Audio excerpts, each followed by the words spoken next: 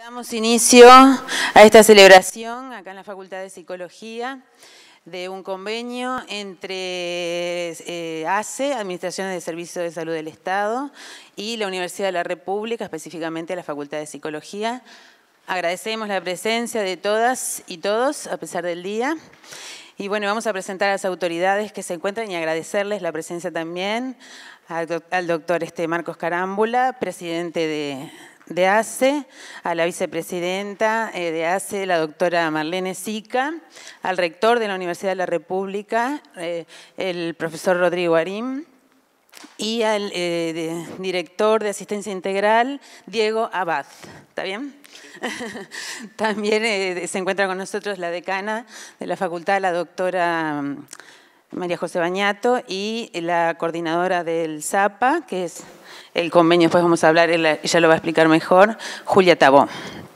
Bueno, un poquito de historia que después seguramente lo retome Julia, eh, pero eh, debemos decir que este, a este convenio lo antecede otro que se firmó en el 2001 en, eh, con el Ministerio de Salud Pública y ACE, Ministerio de Salud Pública mejor dicho, este, donde eh, lo que se ofrecía desde la Facultad de Psicología era atender a todos los funcionarios de ACE, Ministerio de Salud Pública y exfuncionarios y a sus familiares. Ese convenio duró 18 años, está bien, hasta el día de hoy, 18 años, este, y fue realizado en la zona, a la gente que vivía en la zona de Montevideo y Metropolitana. En el día de hoy el 27 de diciembre se firmó este nuevo convenio, que es un convenio similar, de similares características, se agregan otros servicios este, y va, el convenio va a estar en todo el país. Esa es la gran diferencia y la, y la buena noticia también. Entonces les voy a leer de repente los, los objetivos de este nuevo convenio para que después de dar paso a, a que la directora, del, la coordinadora del, del programa ZAPA le pueda hablar sobre esto. Ah, yo decía, algo pasa que no Bueno. El primer objetivo, ofrecer a los beneficiarios de asistencia integral de ACE y sus núcleos familiares un servicio de referencia capaz de brindar atención psicológica en los niveles de promoción, prevención y atención, en el marco de atención integral a la salud y acorde a los niveles de excelencia a que debe propender un servicio universitario. La atención psicológica prevista en la misma deberá ser brindada a los beneficiarios de asistencia integral prevista en la Ley 13.223 y demás disposiciones concordantes y modificativas. El objetivo 2, proporcionar a docentes, estudiantes avanzados de grado y eventualmente de posgrado de la Facultad de Psicología la oportunidad de formar parte de un servicio de estas características. Y el 3, generar un volumen de experiencia clínica que opere como insumo para la docencia y la investigación, tareas esenciales de todo servicio universitario. Bueno, esos son los, los objetivos de este nuevo convenio. Entonces, esta primera parte, ahora vamos a dar la palabra a la profesora agregada Magíster Julia Tabó y después de que las autoridades hablen, mm, se va a presentar el libro que realizaron desde el ZAPA y, este, y va a haber un pequeño brindis, así que esperamos que todos se queden hasta el final. Bueno, entonces, Julia, te damos la palabra.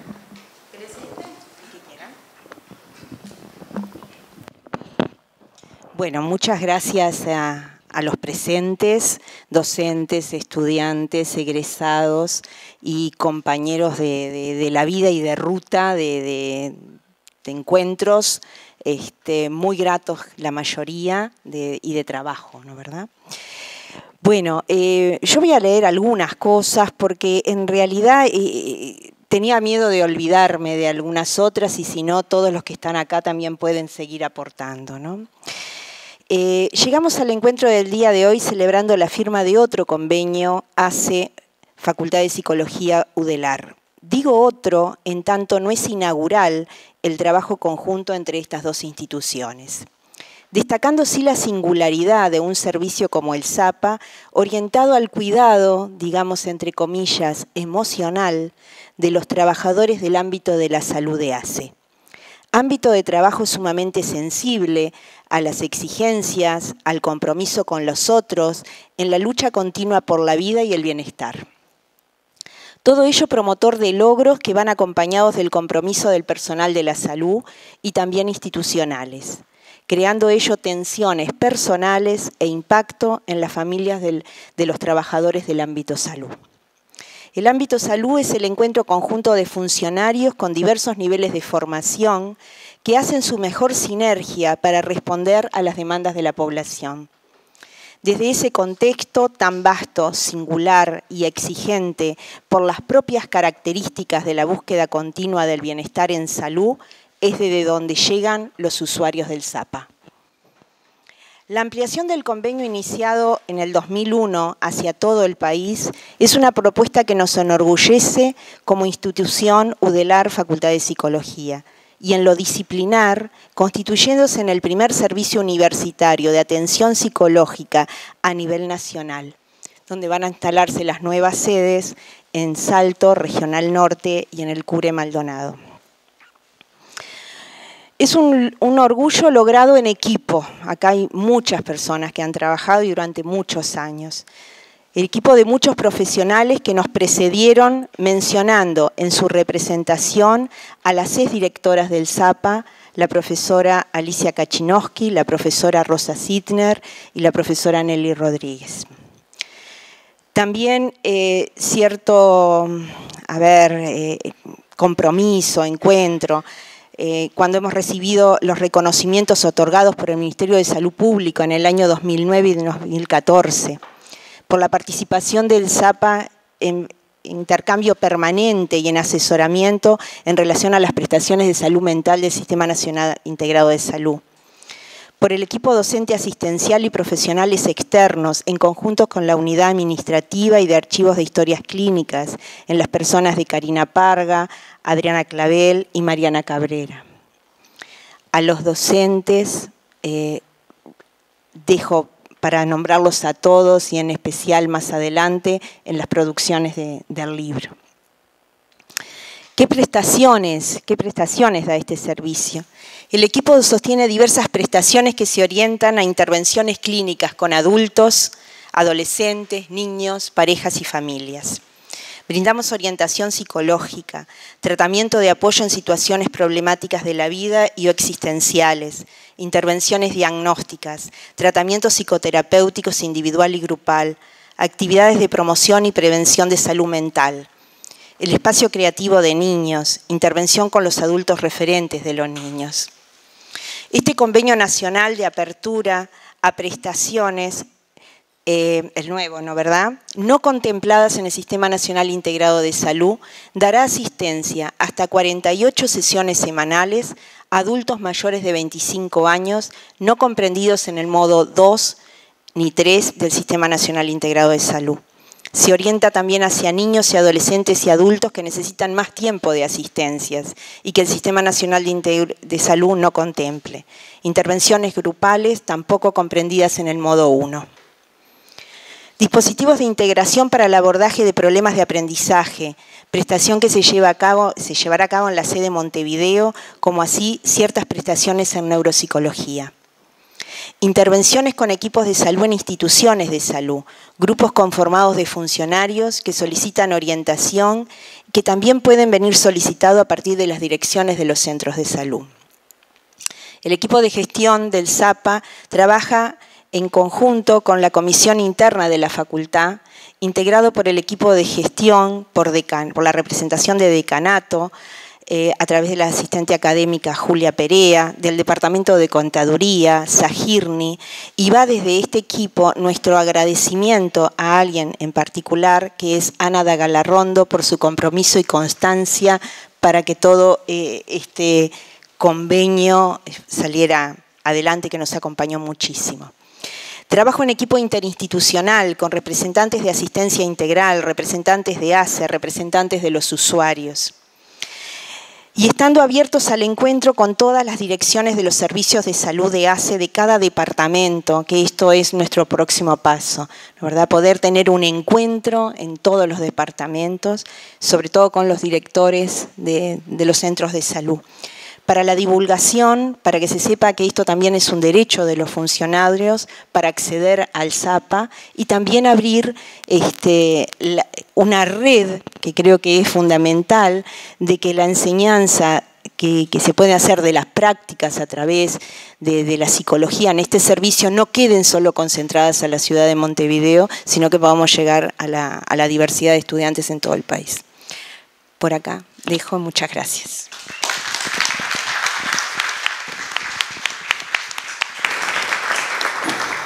Le damos la palabra, no sé, algún, a Marcos, al doctor Marcos Carámbula. Me dijeron así, así que. Bueno, buenas tardes. Este, muchas gracias por este, invitarnos. Eh, encantado estar en esta mesa, decana, rector, doctora.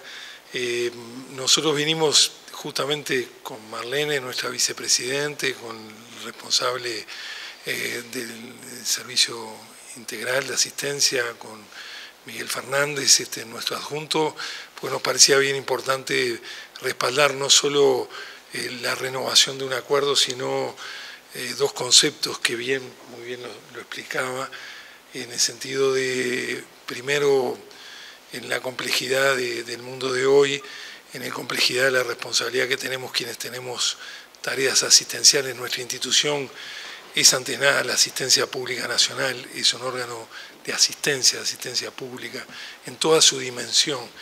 Y, entonces eh, eh, el gran desafío es la cercanía, es la calidad, la sensibilidad, eh, desde el que está en el primer nivel al que está en, el centro de la mayor complejidad. Médico, enfermera, enfermero, licenciado, auxiliar, el equipo de salud y, una premisa que es cuidar al cuidador, este, eh, porque el cuidador antes que nada este, tiene que estar y ponerse siempre del otro lado, es decir, en el otro. Eh, y para ponerse en el lado del otro es fundamental contemplar la situación de cada cual. Por lo tanto, este, eh, y a mí me gusta la palabra, el contenido y el concepto emocional, vale la pena en el sentido de la enorme este, responsabilidad que tenemos cada uno de nosotros. Así que el apoyo del ZAPA desde hace tantos años, nosotros venimos a, digamos, a renovar este compromiso con mucha convicción y por eso estamos acá, nos parece un paso bien importante en los desafíos que tú planteabas, en los desafíos de nuevas prestaciones y fundamentalmente en los desafíos de la diversidad del sistema para poder llegar en cercanía, pensando en todo el país. Y el otro elemento naturalmente que nos motiva, decana y rector, es en la medida de lo posible seguir trabajando juntos con la Universidad de la República, con las facultades, tenemos un acuerdo de trabajo en general, de evaluación, de niveles de calidad, que tenemos que seguir trabajando y en estos temas operativos nos parece que esta institución que atiende a la mitad de los uruguayos, eh, solo se concibe trabajando junto con la Universidad de la República y con las facultades que tienen que ver con responsabilidades compartidas. Así que por eso queríamos estar acá este, para un nuevo compromiso con la Universidad de la República, con la facultad en particular de Psicología. Muchas gracias.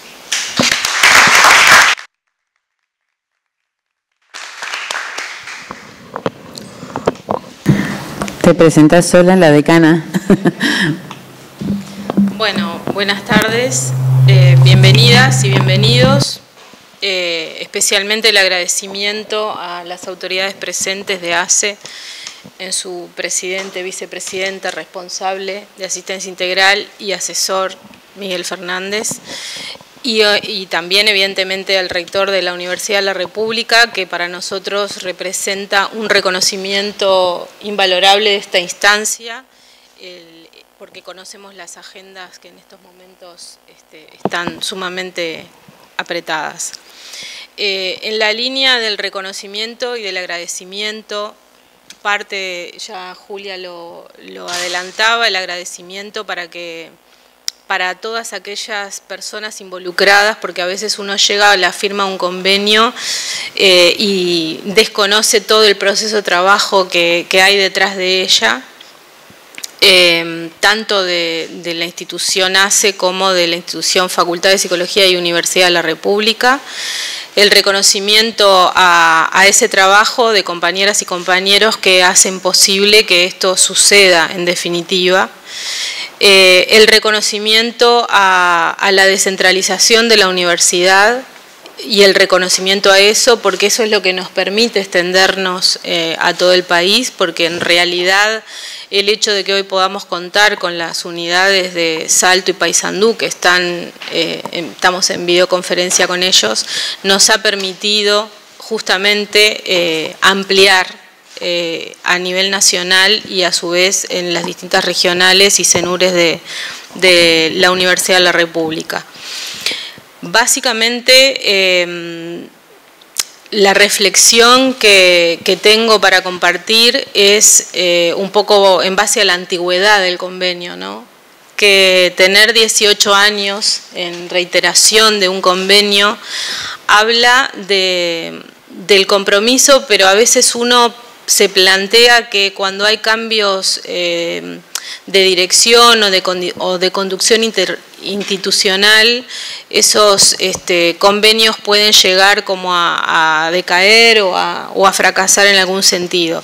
Creo que esto se debe justamente a la solidez institucional, en parte en una de las partes, porque es un convenio de la Facultad de Psicología, para sostener este tipo de compromiso que más allá de las autoridades, más allá de las coordinaciones, se puede sostener porque está instalado y está articulado con un plan de estudios, con un plan de estudios de grado y obviamente un plan de estudio de posgrados. Creo que esto es importante eh, resaltarlo porque puede quedar invisibilizado que no es un convenio que quede aparte y no es una prestación de servicios que hace eh, la facultad hace, sino que está involucrado en los procesos de enseñanza aprendizaje, en los procesos de investigación y que en definitiva nutre la formación de los futuros y las futuras profesionales para atender, en este caso, eh, en, el sector salud, pero también en otros sectores como puede ser eh, la educación, por ejemplo.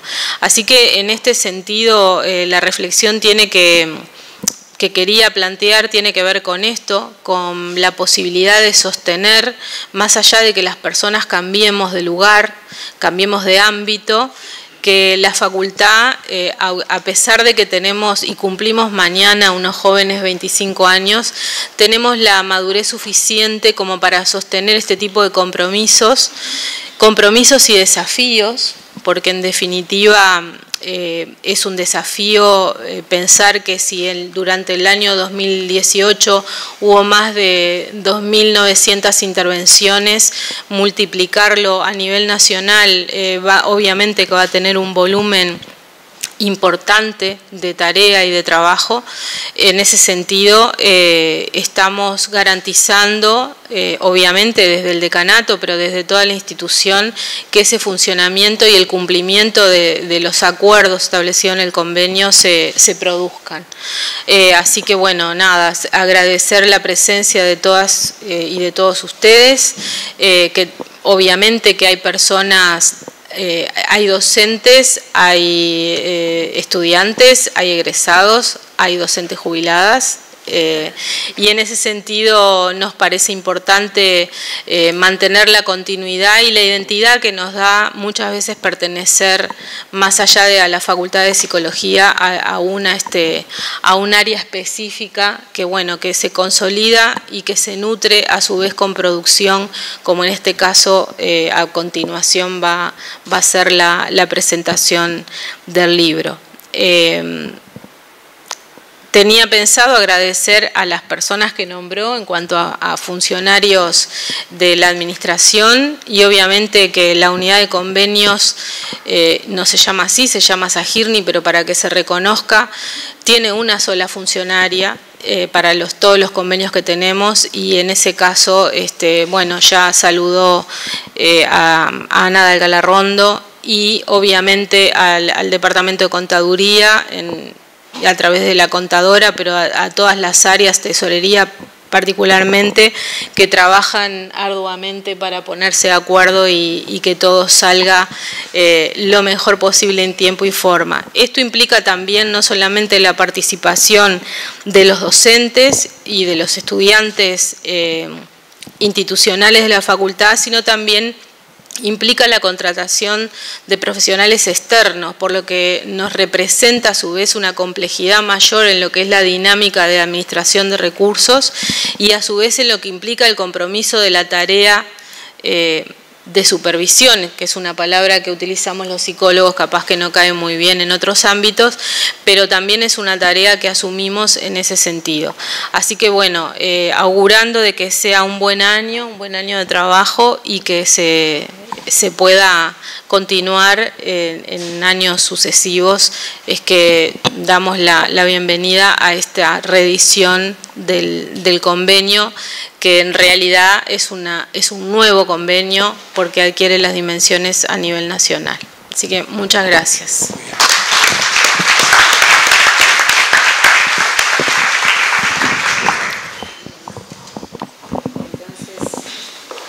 Ahora las palabras del rector de la Universidad de la República, Rodrigo Arim. Buenas tardes. Antes que nada, es un gusto estar aquí en la Facultad de Psicología, en un nuevo ámbito institucional que no conocía, que es esta, esta, aula. Felicitaciones también por ella. En primer lugar, agradecer a, ACE, eh, tenerlos como socios en estos procesos, en estos convenios, son socios multifacéticos también con la Facultad de Psicología, pero con otras instancias universitarias. Hay proyectos maduros como este, otros proyectos en maduración y otros en las gateras, literalmente, donde hay varios aspectos que hacen a, la vida institucional de tanto de ASE como de la Universidad República que pueden estar involucrados. Creo que tener socios como, como ASI, su directorio actual, es, muy importante para pensar en el futuro de la Universidad República como espacio generador de conocimiento y de formación de recursos humanos por excelencia y, ACE como una institucionalidad central en la provisión de, salud del país en general. Yo, yo, quiero hacer, dar algunos mensajes telegráficos en el sentido de lo que planteaba la decana, más allá que mañana tenemos otra excusa para seguir hablando de la Facultad de Psicología. Eh, el primero de ellos es que al rectorado le da mucho trabajo a la Facultad de Psicología y eso es una buena cosa. Hace pocos meses que estoy en esta función y he venido a, varias firmas de convenios y, otros y seminarios y congresos internacionales que, hemos he tenido el gusto de poder estar presente en la, inauguración. Eso habla del dinamismo de la facultad. Habla del dinamismo también de la facultad, eh, el vínculo que hay entre distintas políticas. Y acá quiero una dimensión que, es muy importante, lo que planteaba María José. Las políticas públicas tienen que ser ante, todo estables. El riesgo de iniciativas pasmódicas que aparecen, que surgen de golpe y que mueren también un suspiro, es que dejan muy poco de punto de vista de la construcción institucional y de los vínculos de largo plazo. E, este ejemplo de este convenio, de por sí largo, entre comillas, habla de la maduración de, los vínculos institucionales, pero también habla de a veces algo que se nos pasa por, de, corrido a los universitarios, que es el vínculo entre distintas dimensiones de la política universitaria. Hoy tenemos colegas mirándonos de Paysandú y, Salto presentes en esta inauguración, pero además el propio convenio eh, tiene como un mecanismo de expansión el hecho que la Universidad República hoy tiene una realidad muy distinta a la que tenía hace 18 años cuando se inició este convenio. Y eso es algo que a priori no estaba pensado, pero habla de la, forma que se van articulando distintas dimensiones que hacen al, desarrollo de la propia universidad.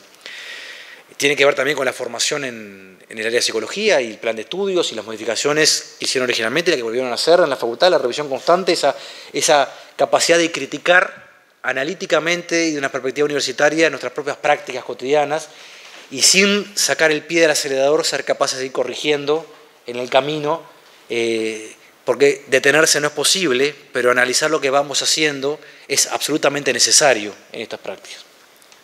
Por lo tanto, creo que este convenio en realidad, más allá de, lo que significa en sí mismo, es, también representa algo mucho más relevante que es ubicarlo en el mapa del desarrollo de una institución en particular que es la Facultad de Psicología con sus 25 jóvenes años y lo que ha logrado en los, en los últimos años, en la última década, década y media, pongan ustedes el tiempo que quieran, pero es muy claro para la universidad en general que la Facultad de Psicología es un espacio dinámico de construcción y lo, que está, y lo sigue siendo de forma cotidiana. Bueno, felicitaciones a todos y muchas gracias a, a los compañeros de ruta de ACE en estos, en estos casos.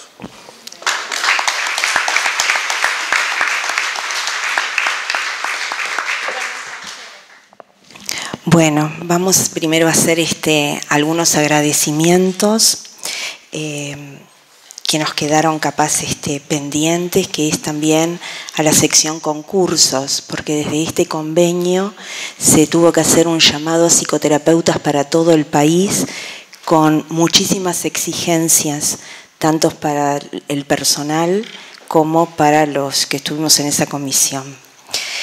Por otro lado, recibimos este, eh, felicitaciones, podríamos decir, saludos de la profesora Rosa Sidner, que nos mandó una maravillosa, una maravillosa carta donde ella hace toda la historia del Zapa, la cual es muy extensa para poderla compartir con ustedes, pero a su vez manda agradecimiento para todas las autoridades, para todos los compañeros docentes que estuvimos acompañándola desde el inicio de este convenio. Y por supuesto también las felicitaciones y el acompañarnos de Nelly, que, este, que bueno, que ya no está en facultad, pero la ven que está, jubilada, pero este, nos sigue acompañando y de visita. Así que bueno, estamos dando comienzo entonces a esta producción. Eh, eh, el Zapa todos los años, mejor dicho, cada cinco años hace un, eh, una jornada, ¿no? y dentro de cada, cada jornada hace una producción, este, intentamos un libro, y bueno, este es el tercer libro. Entonces, bueno, voy a leer algunos agradecimientos más. Este, este libro es eh, fruto de parte de la producción de conocimiento que se logra desde un servicio universitario, producción de conocimiento conjunto entre docentes y estudiantes. Para que esto se concretara, se contó con un comité eh, editor integrado por Nelly Rodríguez, Adriana Tortorella, Lisandro Vales, quien les habla, y mi reconocimiento destacado a nuestra compañera Paola Beetti por la constancia a pesar de los obstáculos que se hicieron posible concretar este libro. El agradecimiento a Jocelyn Sousa y Nicola Neniquian, responsables del diseño y maquetación. El agradecimiento a Leticia Barros, por su atenta y constante preocupación por resolver desde la unidad de comunicación institucional. El agradecimiento al Departamento de Contaduría, a sección compra, sección suministros, espacios todos ellos donde siempre encontramos la mejor disposición para acompañarnos en este desafío. Si me olvido de alguien, disculpas. Gracias a, toda la facultad. Bueno, y le estoy dando la palabra a, Nelly, porque Nelly fue la que organizó y llevó adelante toda la organización de esas terceras jornadas. Bueno, buenas tardes autoridades presentes, compañeras y compañeros, estudiantes, señoras y señores. Es una satisfacción encontrarme hoy junto a ustedes y agradezco particularmente la amable invitación de la actual directora del ZAPA, la profesora Julia Tabó. Y em, celebro también y concuerdo totalmente con los este, con los comentarios de la profesora Tabo en cuanto a un agradecimiento a todos aquellos eh, que han participado todos estos años en que se logre hoy estar acá y celebrar la firma de este convenio nacional. Es un desafío, pero también es el entusiasmo de haber logrado extender la calidad y la, de la atención y la excelencia de las prestaciones a todo el país, así como también sumar las pasantías clínicas en las regionales del norte y del este. Bueno, volvamos al libro. Como decía Julia, este libro es la publicación de las jornadas realizadas el 31 de octubre de 2016. Eh, está dividido en tres capítulos que es intervenciones clínicas, formación en la clínica e investigaciones. Eh, yo me voy a referir específicamente al capítulo de intervenciones clínicas. Este capítulo consta de 14 trabajos realizados por el equipo que colabora en el ZAPA, docentes, estudiantes, pasantes egresados. Realmente este, destaco mucho el trabajo realizado por los pasantes estudiantes y por pasantes egresados recién recibidos, por la calidad de los mismos y también por las cálidas palabras que han tenido en sus artículos del grato recuerdo que les merece el haber participado en el servicio. Bueno, la publicación este, que me voy a referir, Intervenciones Clínicas, tiene también tres partes. Una es la clínica con adultos, este, seis artículos referidos a la clínica con adultos, eh, cuatro artículos referidos a la clínica con niños y adolescentes y un tercer capítulo referido a la clínica con pareja, familia y grupos. Su lectura nos muestra el abanico de temáticas contemporáneas vinculadas a variadas problemáticas actuales como ser la fragilidad psíquica, la vulnerabilidad actual, los psiquismos desgarrados, productos de violencias tempranas, que al no lograr ser tramitados provocan efectos patógenos en la vida de quienes los transitan y sufren. Variadas violencias vinculares, violencia doméstica, violencia social, violencia en los vínculos laborales compulsiones, adicciones, sometimiento femenino naturalizado en roles de esposa y madre, plagados en situaciones abusivas, abusos sexuales tempranos, intrafamiliares, generados en entornos encubridores, que muchas veces desmiente y en ocasiones es un agente facilitador del mismo constituyen una invasión desarticuladora de psiquismo y en una situación de vida atravesada por el abuso. Vamos a ir viendo en una manera muy resumida el aporte de cada uno de los autores a estos temas. En la clínica con adulto estas situaciones extremas interpelan muchas veces y cuestionan el alcance y procedimiento de las técnicas terapéuticas con las que contamos actualmente. La neutralidad con que trabajamos los terapeutas se, ve desafiada muchas veces frente a situaciones desbordantes que provocan que el terapeuta tienda a tomar partido por.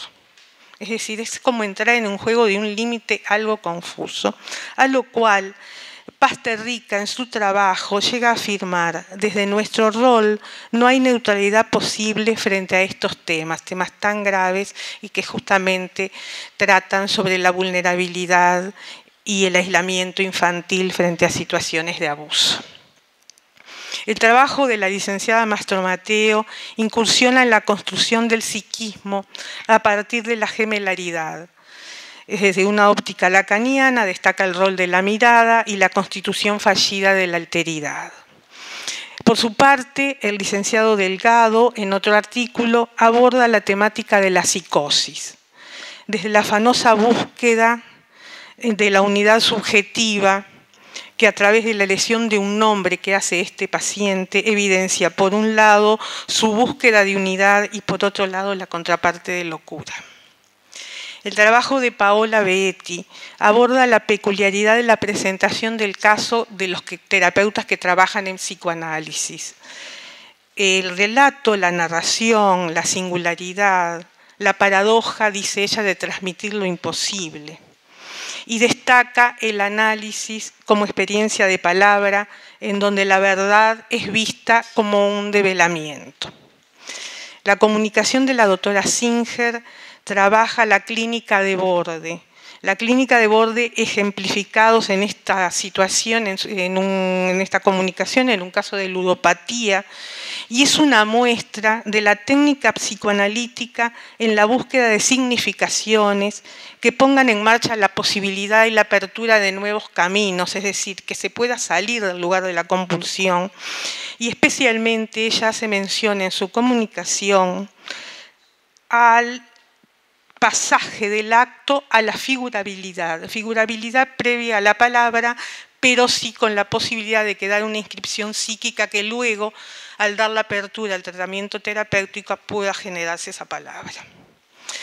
Eh, los trabajos de la clínica con niños y adolescentes se inician con el trabajo de la magíster Tortorella, que da cuenta de las nuevas formas de subjetividad contemporánea y en él comunica los resultados de su tesis de maestría. Eh, lo investigado toma los años del 2002 al 2012, pacientes adolescentes atendidos en el servicio y eh, destaca en este estudio la importancia de la incidencia de la tecnología y del vínculo con sus pares como facilitadores de la identidad. Eh, nos detenemos un momento en esto porque ya no es el modelo de identificación que surge de los padres, de los adultos, sino que en estos momentos lo que se destaca es el encuentro con el otro, con el igual. El desamparo, la depresión, las conductas de riesgo y la no visualización de un futuro en una época que fue muy difícil, que fue en la crisis financiera del 2002, eh, que eh, duró unos cuantos años, generó en los psiquismos de estos adolescentes una vulnerabilidad muy especial al no contar con la y no tener un sistema seguro y protector. Achad reflexiona acerca de la medicalización, la medicalización en niños y adolescentes.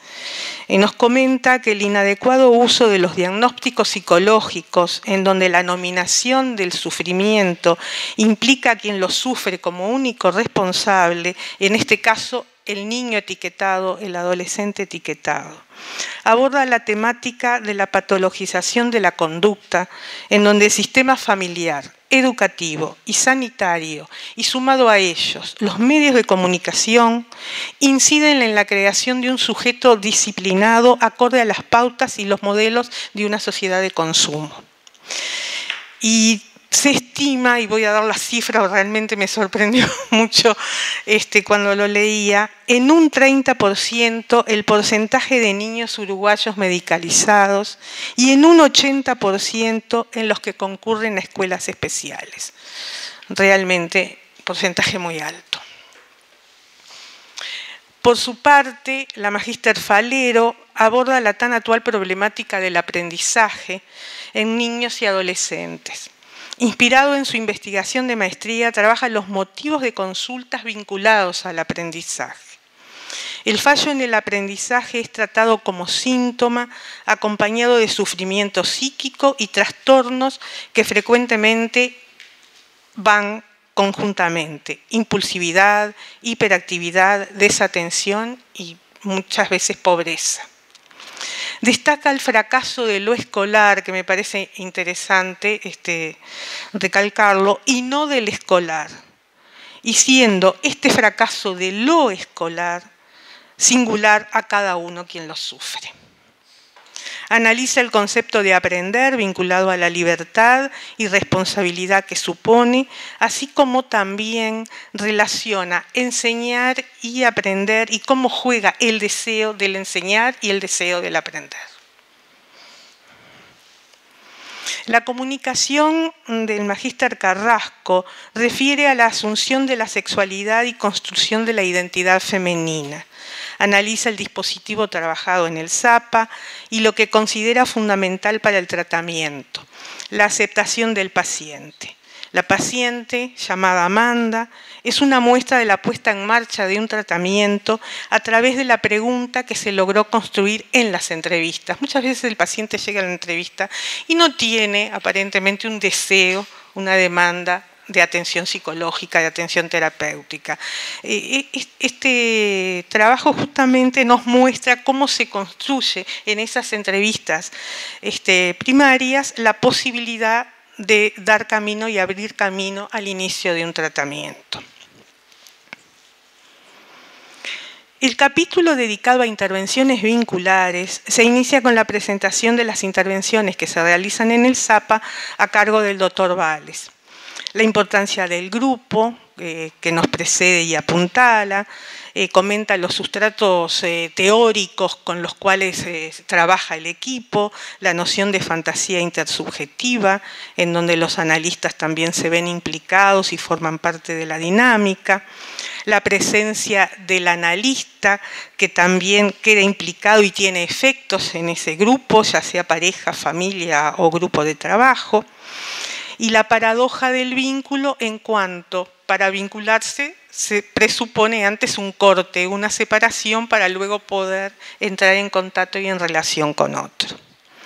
El juego entre lo individual y lo familiar y también analiza cómo muchas veces en las primeras instancias, en las entrevistas tanto de pareja como familiares e incluso también grupales, cada uno de los integrantes viene con una demanda individual. Y en estas entrevistas previas lo que se busca también es generar una demanda familiar para poder dar apertura al tratamiento de familia, pareja o grupo. El trabajo de la licenciada Silvera refiere a la continuidad de pareja, cuando son atravesados por vínculos violentos y da cuenta del procedimiento para llegar a la posibilidad de una indicación terapéutica. Entonces, realmente ella presenta la paradoja de que el vínculo es visto como baluarte contra el dolor y sufrimiento, el vínculo con el otro como protector. Y sin embargo, acá sucede lo contrario, es decir, los vínculos violentos que en realidad no son vínculos protectores. Eh, hace una interesante reflexión sobre el motivo de consulta y cómo llegó, en el caso que ella tomó para analizar esta situación, a lograr una indicación terapéutica de pareja y atender ese vínculo agresivo. La comunicación de la licenciada Pereira continúa con el tema de la violencia familiar, de la violencia vincular general, y lo aborda contextualizándolo desde el hipermodernismo. El hipermodernismo como tiempo de excesos, y cómo también el borramiento de las diferencias generacionales, padres e hijos, y la desmentida de estas barreras acompañan la declinación de lo paterno, tema muy actual, la declinación de la autoridad, la declinación de lo paterno, y ella lo lleva en una interesante reflexión sobre la transferencia de esta situación de la declinación de lo paterno a la situación analítica en donde el que aparece declinado es el lugar del analista, el lugar del psicólogo que trabaja con la pareja. La licenciada Martínez refiere sobre la intersubjetividad a partir de las experiencias con grupos de reflexión. Estos grupos de reflexión eh, son talleres que se organizan en el ZAPA para funcionarios de salud pública de diferentes instituciones, en donde no es que se atiende una demanda, sino que se ofrece un taller. Tenemos una serie que se llama Poder Hablar, y justamente eh, Martínez se centra en uno de los talleres que trabajamos, que yo también colaboré en él, este, que es poder hablar la toma de decisiones.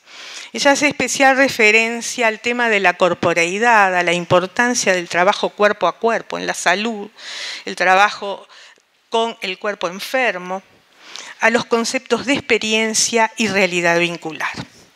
Bueno, este es el capítulo de las intervenciones clínicas. Ahora después le voy a dar el paso a Julia, que se va a encargar del comentario de los otros dos capítulos. A maneras de cierre, traigo las palabras vertidas en el prólogo por la señora decana, la profesora doctora Bañato, quien señala con acierto que la riqueza de las temáticas planteadas, así como la posibilidad de profundizar en ellas, convierte en este libro en un aporte sustantivo para la actualización de los profesionales como para la formación de estudiantes. Vaya un agradecimiento a la dedicación entusiasta con que han trabajado todos los actores vinculados al mismo y mi invitación a su lectura. Un libro siempre es bienvenido. Un libro nos invita a reflexionar, a pensar y a los autores exponernos a juicio del lector y a su opinión. Agradecimiento a autoras y autores que incluyen cálidos y agradecidos mensajes de su tránsito por el ZAPA. Un reconocimiento especial a los usuarios del servicio, que día a día, a través de su consentimiento, posibilitan los avances en el conocimiento y comprensión del alma humana. Bueno, muchas gracias a todos.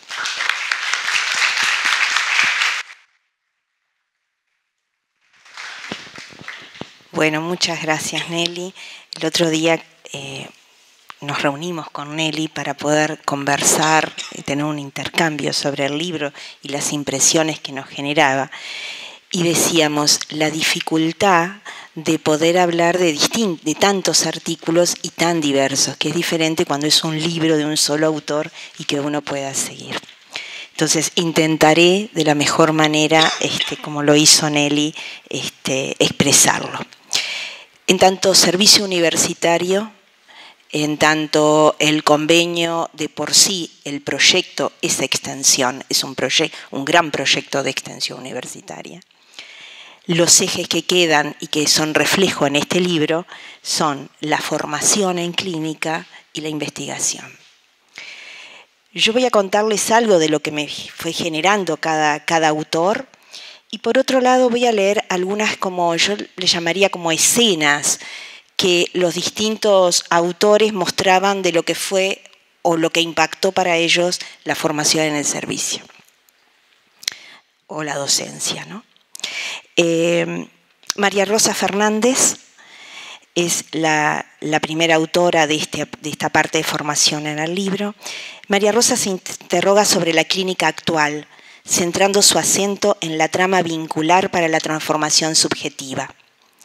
Nos relata que los encuadres vinculares forman parte de los dispositivos pensados por parte de las estrategias de intervención diseñadas y desplegadas en el ZAPA. Interrogarse por cómo concebimos la clínica, dice la autora, constituye un punto de partida esencial para pensar nuestras interrogantes y nuestras estrategias. Y en, una de esas escenas que a mí se me representaba, ella dice, mi gratitud a quienes permitieron que yo ingresara en la intimidad de sus sufrimientos. María Rosa fue durante muchos años la encargada del equipo de familia, pareja, familia y equipos multipersonales. Para acompañarlos en la búsqueda de nuevos sentidos, así como para aquellos que me permitieron sostenerles en momentos difíciles de sus vidas mi agradecimiento a los pasantes de grado y egresados que enriquecieron con su frescura para seguir cultivando espacios donde producir conocimientos. Otro trabajo es de Cecilia Tambasco. Cecilia nos acompañó este, como estudiante, era pasante egresada durante el año 2009 y refiere al dispositivo de observación participante, o sea, los, los estudiantes en una de las primeras etapas acompañan al, docente en su rol asistencial en ese momento como observador participante. Ella toma esa escena que es la, la vivida, la que la lleva también este, a hacer varios trabajos y eh, lo, trae como una marca, como un contrato de trabajo y un encuadre de atención, lo cual la llevó a la autora a realizar un análisis reflexivo del mismo. Entonces dice, al momento de empezar la práctica clínica inauguramos un lugar, realizamos un pasaje desde los encuadres externos que nos son dados a lo largo de la carrera hacia la, hacia la creación del propio. A lo largo de dicho artículo, la autora busca un desarrollo teórico clínico, dando origen a la articulación de sus comienzos, que dirá fueron marcados por múltiples descubrimientos de la práctica clínica. Cecilia también comparte con nosotros muchas preguntas que en realidad no las hicimos todos los que hace muchos años hacemos clínica, cuando estábamos comenzando. Y entonces ella decía y se pregunta, ¿cómo y qué le digo acerca del encuadre al paciente? ¿Cómo le cobro? ¿Le cobro si falta? ¿Me ubico de frente? ¿Me ubico de costado? ¿Cuánto tiempo la sesión? ¿Estoy interviniendo poco, mucho, de forma incorrecta? Bueno, y eso nos va ayudando a ir reflexionando lo que en algún momento nos atravesó a todos en la formación. Y termina en una, frase que me llamó mucho la atención en el sentido de, qué bueno podernos pensar esto. Dice, es difícil pensar a alguien sin conflictos o dejando de lado sus conflictos totalmente de lado mientras ejercemos la clínica, sino que nos aprovechamos de ellos y los ponemos a trabajar. Ignacio Ferreira, otro pasante que nos acompañó durante el 2012-2014. Su trabajo se pregunta, ¿pasantes clínicos? ¿Cómo impacta a todos los, practicantes y, bueno, y en sus distintos procesos de, ir avanzando? Ignacio dice eh, que se interroga sobre una clínica de la singularidad y hace un recorrido de varios autores como Foucault, Lacan, Melonet y reflexiona en torno a su construcción, ¿no es verdad? Cómo fue pasando de ser pasante a ser licenciado, a ser magíster, ¿no? Y cómo se fue encontrando una y otra vez pasando entre todas esas escenas de su recorrido de formación. Y entonces nos dice, esa escena manifiesta, según el autor, una emergencia para el sujeto, que al mismo tiempo que surge se diluye. Él hace un, recorrido, bueno, me construí como pasante y se pierde como pasante, se construye como psicólogo, dejó de ser psicólogo, empieza a ser magíster y hace todo un movimiento muy interesante de, todo ese proceso de identidad ¿no? en lo profesional. Y la escena que elegí para, para que él de, su trabajo dice, el ámbito universitario ofrece la posibilidad de bordear aquello que nos convoca intelectual y sensiblemente. El pasaje por la práctica al que invita el servicio es una oportunidad de ejercitarnos, el ofrecimiento de un espacio donde uno puede estar al servicio del encuentro, desencuentro, con un otro que nos dice aquello de la cual nada sabemos.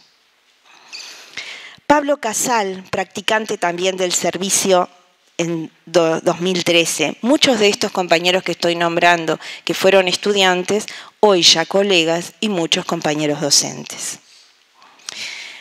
No sé si algo haremos que los vamos atrapando, los vamos dejando acá en esta casa de estudio, pero se van quedando. En calidad de estudiante, dice Pablo, de grado en el marco del ZAPA, va a relatar la práctica que él hizo y que le sirvió de plataforma para analizar el trabajo con pacientes en riesgo suicida, así como las particularidades, eh, formas que toma la transferencia en los trastornos de personalidad borderline. Entonces se va a plantear que el terapeuta con estos pacientes debe centrarse en los patrones de relacionamiento que existen en el mundo interno del paciente a medida que se van desplegando la transferencia. Esta última desarrolla niveles de afecto más intensos que en otros pacientes, haciéndose necesaria una formación técnica específica para el trabajo terapéutico con personalidades borderline y ayudar al paciente a una adecuada resolución de los conflictos internos que se vuelven, eh, se vuelcan a su cotidianeidad. Después hay eh, algunos trabajos que articulan todo lo que tiene que ver la formación en clínica y eh, la investigación en formación en clínica. Que una de las cosas que nos interroga a muchos docentes es cómo enseñamos la articulación entre la teoría y la práctica clínica.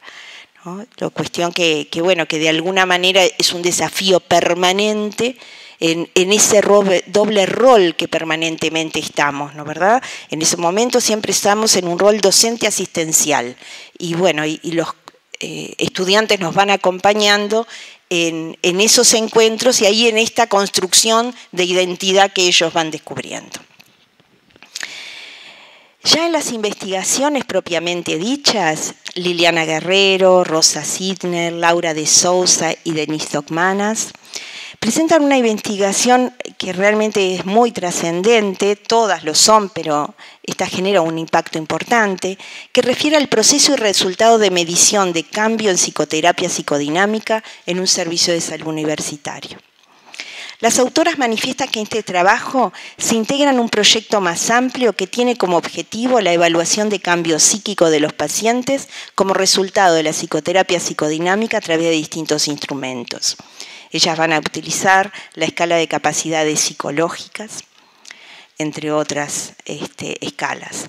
Las autoras dan importancia al estado del arte de las investigaciones en psicoterapia psicodinámica, ya que se demuestra que en estas se logran mayores resultados.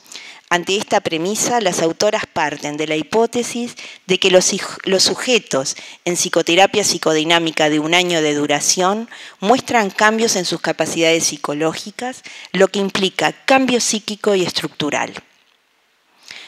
Y bueno, y nos dejan otra escena, ¿no? Donde nos, nos interpelan a todos. La investigación de resultados es una práctica fundamental para mejorar la calidad de la asistencia en los servicios de salud, a lo cual el ZAPA eh, está en ese camino.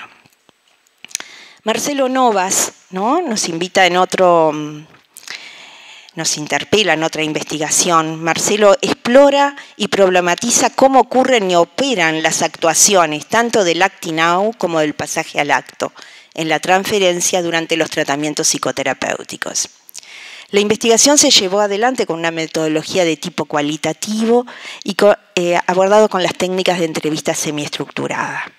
Y la investigación fue realizada en el ZAPA y en el servicio de la, eh, de la Clínica Psicoanalítica de la Unión. ¿Y qué nos dice este autor como escena? Dice, el autor comparte con el lector que los entrevistados reconocían en su práctica diversas oportunidades en que los tratamientos se interrumpieron, reconociendo que, en ocasiones, las características del fenómeno apuntaban a una salida de la escena, un pasaje al acto, y en otras ocasiones a una mostración sobre el objeto de deseo en juego, es decir, un acting out. Andreana Arián, que me la complicó, allí está, practicante del 2014, con el Verlugen o algo parecido, ¿no verdad? Renegación o desmentida, el problema de la traducción. Entonces, Adriana, Andreana también compartió con nosotros muchos recorridos, parte de su trabajo de una intervención clínica en la actividad de la práctica del ZAPA y de la participación en un proyecto de investigación denominado El mecanismo de renegación en diversas situaciones traumáticas, realizada en el ZAPA durante el año 2014. Se abordó el estudio del fenómeno freudiano de negación y desmentira, y el objeto principal del, trabajo de, de, Andreana radica en investigar el vocablo alemán a través de sus versiones en castellano para demostrar la existencia de un problema en la traducción. La autora recorre planteos de Bleichmann, Levato, Clancy, Ferrari, desarrollando a su vez el problema de traducción por un lado por las diversas lenguas que en la versión en castellano varía entre las editoriales que traducen la obra de Freud. Otra compañera que nos ha acompañado en varios recorridos en esta facultad, pero que también fue estudiante y pasante nuestra, María Juliana Artola, donde nos muestra, bueno, las perspectivas psicoanalíticas sobre el cambio psíquico, un recorrido histórico. En ese marco de, su pasantía por el ZAPA, se interesó por el cambio psíquico en los objetivos del, con psicoanalítico. A partir de esta, realizó un trabajo final de grado sobre este tema. Presenta una aproximación a las perspectivas en torno al cambio psíquico de la obra de Freud y de autores post-freudianos, deteniéndose en los criterios de cambio psíquico presentes en la obra de Green. La autora concluye que Freud y Green coinciden en considerar al psicoanálisis como disciplina viva y en permanente cambio e intercambio. El concepto de proceso terciario, donde ella se detiene, de Green, otorga, un mayor protagonismo al otro, donde el analista tiene la tarea de construir a las generaciones de algo nuevo, y ya no solo de promover la revisión de lo que antes imprimió en el psiquismo. Y por último, el trabajo de Débora Riedel, que también es una investigación, que en realidad es una propuesta a una investigación que tiene como objetivo estudiar y analizar la satisfacción de los usuarios adultos en la atención psicológica recibida, así como el bienestar psicológico, las relaciones interpersonales y el rol social antes y después de las intervenciones psicológicas en servicios de Montevideo.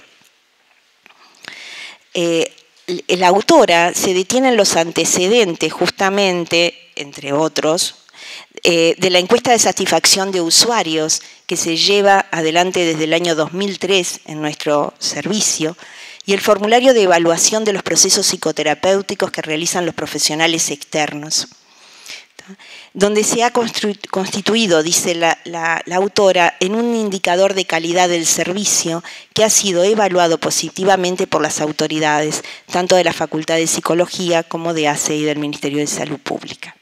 Bueno, dando por completo el recorrido de quienes nos han acompañado en, bueno, en la escritura, en la lectura, en, en la edición de este libro, damos por terminado e invitarlos a leerlo, ¿no es verdad? Porque simplemente es este el generarle esto que estamos trayendo este, como un motivo, bueno, para que les quede la impaciencia de, de querérselo llevar y que están acá para eso. Gracias a todos.